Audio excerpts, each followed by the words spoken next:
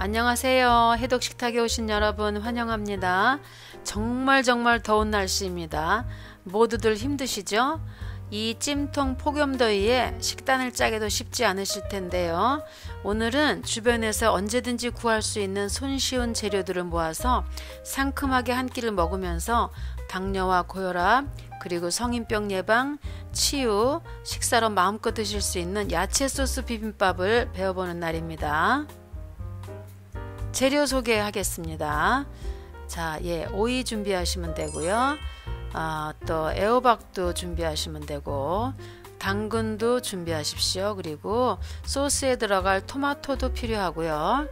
또 야채 비빔밥에 들어갈 퍼프리카도 필요하고 소스에도 퍼프리카가 필요합니다. 그리고 새송이도 한 두 개 준비하시면 되고요. 청양고추도 한 두 개 준비했습니다. 그리고 깻잎도 한 20g 준비했고요. 또 물에 불린 마른 표고 아, 물에 불린 것도 준비했습니다. 그 다음에 오늘 비빔밥을 할 거기 때문에 어, 밥이 필요해서요. 통곡식끼리 여러 곡식끼리 섞인 밥을 할 거고요. 그 다음에 콩나물도 준비를 하시면 됩니다. 그리고 이제 아, 소스에 들어갈 고춧가루도 한 두 테이블 스푼 정도 준비했습니다. 그리고 오늘 아, 또 소스에 함께 들어갈 참깨와 흑임자도 한 테이블씩 섞어서 준비했고요. 아, 소스에 간을 책임질 맛간장과 참기름도 준비했습니다. 자 여기까지 하시면은 재료 준비가 다 됐겠습니다. 가장 먼저 할 것은 밥을 해야 되죠. 오늘 비빔밥이니까. 그런데 아, 비빔밥 할 때는 냄비밥으로 고슬고슬한 게 아, 맛있어요. 그래서 밥을 할 건데 자 곡식은 여러 가지가 많이 섞여서 충분히 불려줍니다. 충분히 불렸기 때문에 물은 많이 잡지 않아요. 밥이 질게 되면 비빔밥은 덜 맛있습니다. 그래서 예, 고슬고슬한 밥을 지을 건데 통곡식들을 충분히 불리시고 난 다음에 손마디로 한 반마디쯤 물을 잡으시면 고슬고슬한 밥이 되어줄 겁니다. 자 이렇게 해서 뚜껑 덮으시고요. 이제 예, 밥을 하시면 됩니다.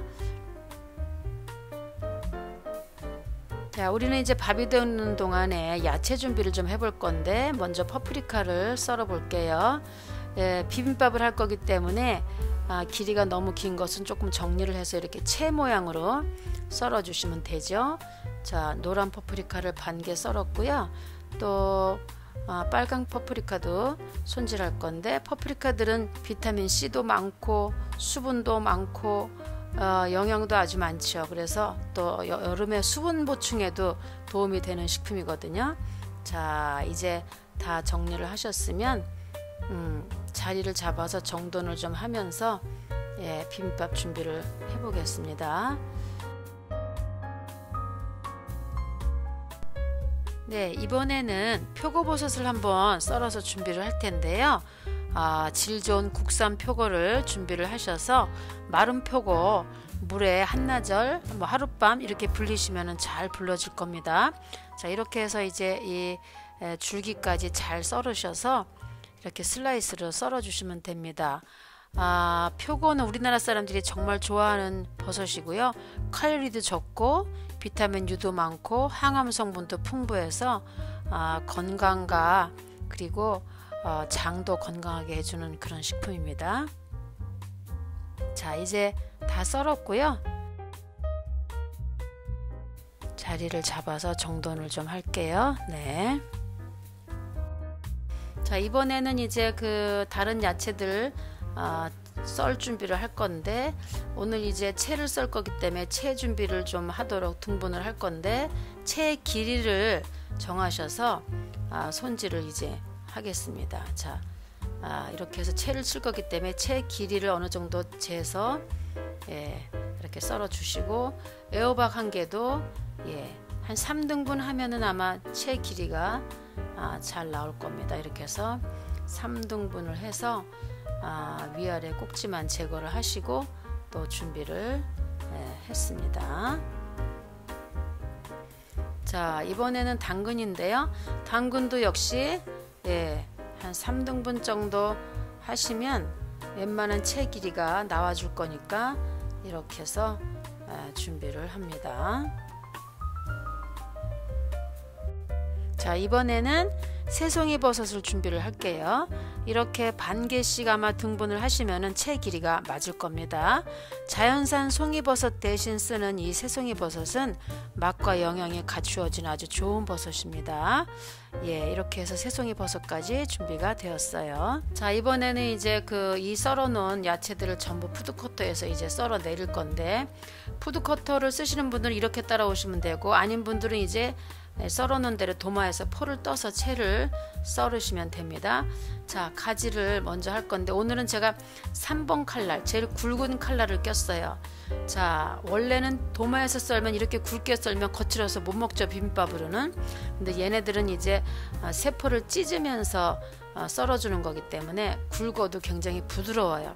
그래서 야채의 식감과 향을 충분히 느끼고 어, 먹는 맛을 느끼면서 예, 부드럽기 때문에 이렇게 일부러 오늘은 조금 굵은 채를 선택을 했습니다. 자, 가지가 다 썰어져서 이번에는 호박을 썰겠습니다. 네, 호박도 이렇게 썰어 내리세요. 그냥 쭉 따라 내려오시면 됩니다. 이제 저 어, 투입구에 들어갈 만하게 투입구에 들어갈 만하게 어, 썰어 놨으니까 내려가면 되는 겁니다. 이렇게 해서 호박도 약간 굵어 보이지만 예 이렇게 세포가 찢어져서 나오기 때문에 굉장히 부드럽습니다. 이렇게 해서 준비를 하시고 도마를 사용하시는 분들은 이렇게 굵게 하시면 안 되죠. 예, 포를 최대한 얇게 떠서 얇게 썰어야 입에서 돌아다니지 않고 먹어질 테니까 그렇게 하시면 되고요. 자, 그 다음에 이제 또 당근, 단단하죠. 당근이 좀 예, 단단해서 이렇게 굵게 썰면 저게 입에 돌아다녀서 거칠어서 될까 싶은데 절대로 거칠지 않아요. 예. 그렇게 하고 오늘은 저는 기름에 볶지 않을 거기 때문에 자 이제 도마에서 써는 분들은 살짝 볶아야 되죠. 예. 그렇게 해야 이제 거친 그 식감이 좀 걷어지니까 부드러워지니까 자 이제 그 새송이 버섯도 여기 놓고 같이 내리겠습니다. 자 내려 볼게요. 예 이렇게 음, 마치 버섯을 찢는 것처럼 이렇게 찢어서 나오죠. 자 이렇게 해서 새송이 버섯도 마저 다 내리면 준비가 다 됐습니다. 네. 자 이제 새송이 버섯도 다 준비가 됐어요. 이렇게 해서 이제 재료들이 거의 다 준비가 돼서 정리가 잘 되었습니다. 자 이제 아, 야채들을 익힐 건데요. 원래는 하나하나 다 기름에 살짝 볶아내셔야 되잖아요. 저는 오늘 그렇게 하지 않을 거고요. 물도 쓰지 않을 거고 기름도 쓰지 않을 거고 그냥 넓은 팬에다가 예, 야채들을 자리를 잡아서 아, 정리를 다 해주세요. 자, 콩나물도 가운데를 중심으로 콩나물이 양이 제일 많으니까 가운데를 중심으로 충분히 자리를 잡아 주시고요. 네. 자, 이제 아까 우리 그 불림표고 썰어 놓은 거 어, 넣으시고 그리고 네. 가지 썰어 넣은 것도 이렇게 넣습니다. 그래서 소금도 물도 기름도 들어가지 않고 그냥 그냥 열을 올려서 자기 수분으로 살짝 익혀줄 거예요.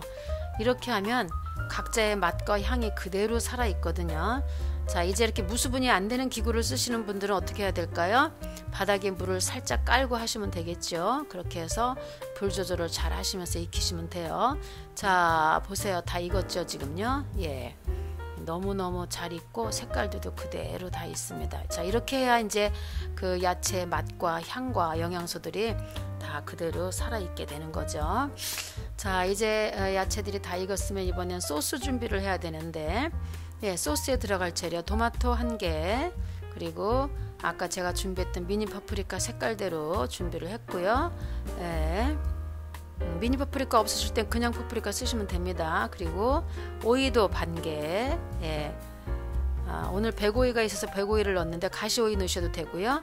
그리고 청양고추 두 개 들어갔고 마지막으로 깻잎도 한 20g을 찢어서 다 넣었습니다. 자 그리고서 이제 예, 소스에 아, 고춧가루가 한 두 스푼 들어가주면 맛있거든요. 고춧가루 두 스푼 넣었고요. 그 다음에 흑임자 한 스푼, 참깨 한 스푼, 두 스푼을 깨를 섞어서 넣었어요. 여기에 이제 간을 간을 해준 맛간장을 넣어야 됩니다. 예, 맛간장을 저는 오늘 한 4개 정도 할 건데 4스푼 정도 4스푼 5스푼 하시면 됩니다.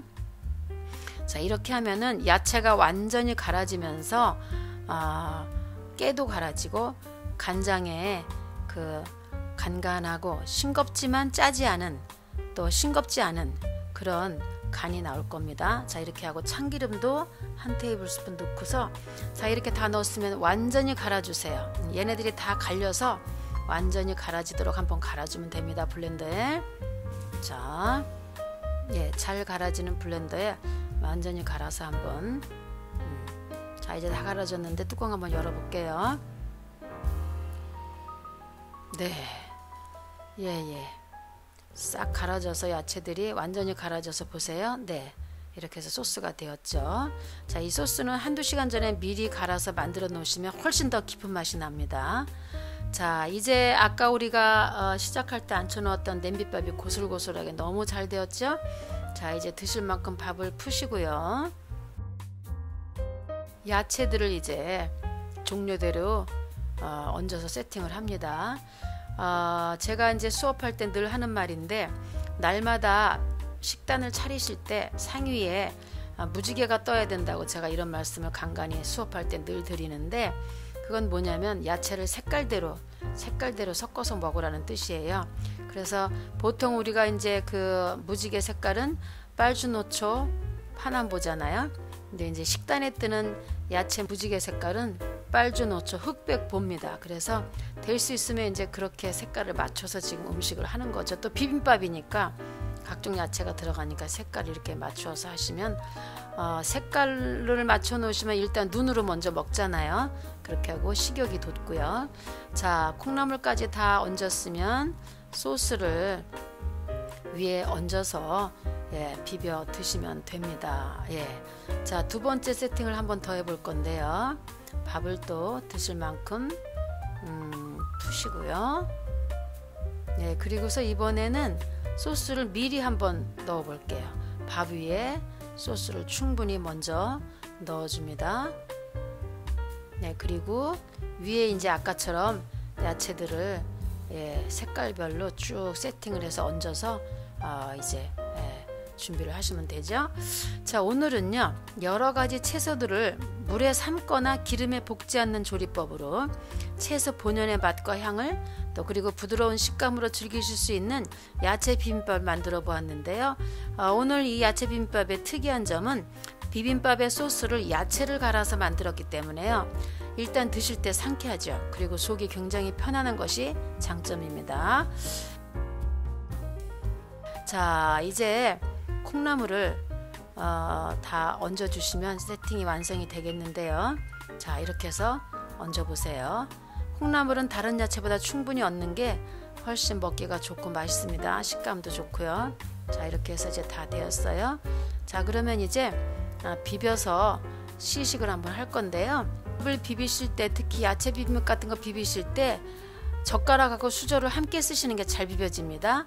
아, 젓가락을 같이 쓰셔야 뭉치지 않고 잘 비벼지거든요. 이제 오늘 이 밥은요, 오늘 이 야채 비빔밥은 당뇨와 고혈압 그리고 각종 성인병으로 고생하시는 분들에게 추천해드리는 아, 강추해드리는 식단입니다. 여러 가지 야채가 함께 섞여서 각자의 맛과 영양 그리고 향을 내주면서 더위로 지칠 때 이런 더위에 수분 공급도 함께 해줄 수 있는 건강한 식단이 되어드릴 겁니다. 아, 조리법이 어렵지 않고요. 언제나 구하기 쉬운 재료들로 구성되어 있어서 한층 더 쉽게 준비할 수 있는 식단이 될 것입니다. 소스는 충분히 넣으세요. 충분히 넣으셔서 완전히 소스에 아, 깊게 비벼지도록 비비세요. 짜지 않기 때문에 야채 소스기 때문에 이렇게 비비셔야 맛있습니다. 아, 요즘 이 폭염에 우리 몸에 항산화와 수분 보충이 어려울 때인데 이렇게 하셔서 항산화와 수분 보충도 맞춰주시고 입맛 돋구시는 그런 기회가 되어지도록 한번 식단을 짜보시기 바랍니다. 여러분 감사합니다. 여기까지 하겠습니다.